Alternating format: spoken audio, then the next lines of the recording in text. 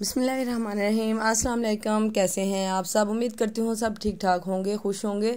तो आज मैं आपके साथ एक बहुत ही ज़बरदस्त सी रेसिपी शेयर करने जा रही हूँ, जो कि है चने की दाल और करेले। करेले मोस्टली लोग जो हैं, वो कहते हैं कि कड़वे बनते हैं और खाते नहीं हैं। तो मैं आज आपके साथ जो रेसिपी शेयर करूँगी, बहुत ही ज़बरदस्त बनने वाले हैं। तो आते हैं रेसिपी की तरफ़। सबसे पहले मैंने एक कढ़ाई में ऑयल गर्म कर लिया है। एक कप ऑयल डालेंगे हम कढ़ाई में।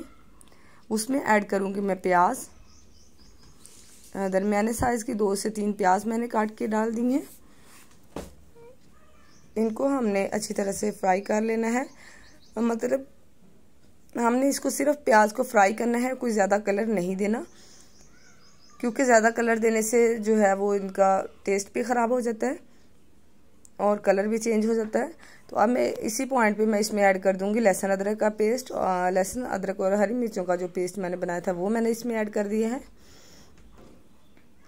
अब हमने इनको दो से तीन मिनट के लिए अच्छी तरह से भून लेना है। लहसुन, अदरक के पेस्ट को ये देखिए, अच्छी तरह से भून चुका है, दो से तीन मिनट हो गए हैं। तो अब मैं इसमें ऐड कर दूँगी टमाटर। टमाटर तीन लिए हैं मैंने, दरमियाने साइज़ के उनको काट के मैंने इसमें ऐड कर दिया है। अब हमने टमाटर को थोड़ा सा सॉफ्ट कर लेना है। इतना कुक करना है कि सॉफ्ट हो जाए टमाटर।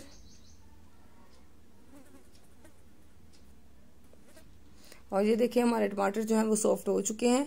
तो अब हम इसमें ऐड करेंगे जो कुछ मसाले ऐड करेंगे। जो कि कुछ इस तरह है, हल्दी वन टीस्पून वन टीस्पून नमक वन टीस्पून काली मिर्च और वन टीस्पून ही लाल मिर्च। सिर्फ़ मैं ये मसाले इसमें ऐड कर रही हूँ और कोई भी एक्स्ट्रा मसाले मैं इसमें ऐड नहीं करूँगी। सिंपल घर के मसाले हैं। तो अब मैं इसको अच्छी तरह से भूनूँगी ताकि जो मसाले हैं, उनका टेस्ट अच्छी तरह से आ जाए। चने की दाल जो थी, वो मैंने पहले ही बॉयल करके रख ली थी। कुछ भी नहीं, मैंने उसमें ऐड किया था, सिर्फ़ बस जस्ट दो से तीन चुटकी नमक ऐड करके उसको मैंने बॉईल कर लिया था।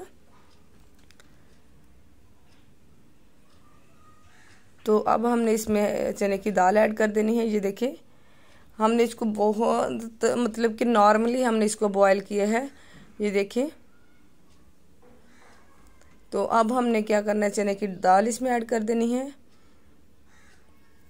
और चने की दाल को हम भूनेंगे थोड़ी देर के लिए, ताकि मसाले जो हैं उनका टेस्ट अच्छी तरह से दाल में आ जाए।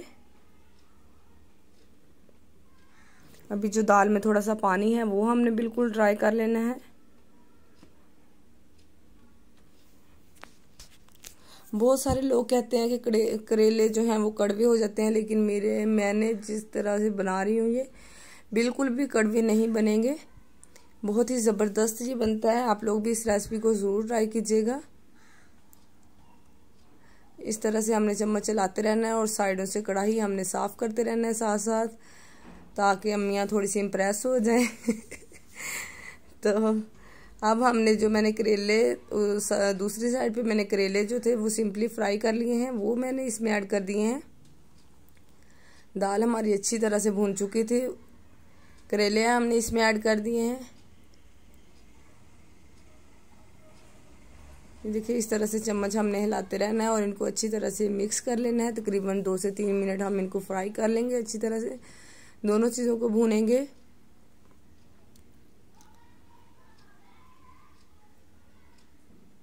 ये देखिए, बहुत देखने में ही बहुत मज़े की लग रही है दाल। अब हमने इसको क्या करना है, दो मिनट के लिए ऊपर से कवर कर देना है। सिर्फ़ एक से दो मिनट के लिए ही कवर करना है, ज़्यादा देर के लिए नहीं, ताकि जो करेले हैं वो बिल्कुल अच्छी तरह से सॉफ्ट हो जाए। और देखिए, दो मिनट बाद मैंने इसको उठा लिया है, इसके ऊपर से कवर। और ये देखिए, हमारे बहुत ही ज़बरदस्त से करेले रेडी हो चुके हैं, चने की दाल और करेले। अब मैं इसमें ऐड करूँगी ज़ीरा, हरी मिर्च। और ये सिंपल सी रेसिपी रेडी है। उम्मीद करती हूँ आपको वीडियो अच्छी लगी होगी।